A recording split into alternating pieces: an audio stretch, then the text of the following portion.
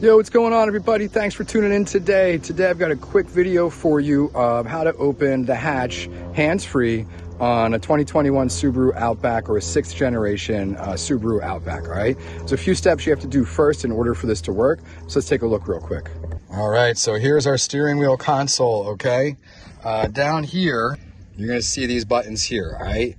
This will just open your tailgate uh, or close it when you're in the vehicle. This we want to make sure this is turned on and that little white line up top verifies we're on. So if this is pushed into off, which is your tailgate opening feature, your lift gate, your hatch, it will not work. So make sure it's on, all right?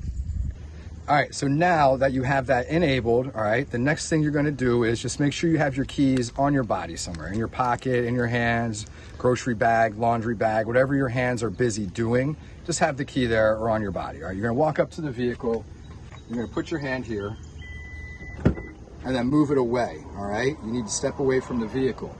It'll open right up. I'll show you what happens if you don't step away. You're gonna hear a different beeping.